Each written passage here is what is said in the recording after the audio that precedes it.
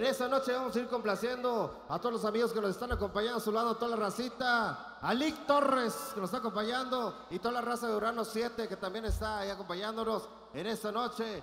Los dos García totalmente en vivo aquí en este escenario. Vamos a avanzar con más.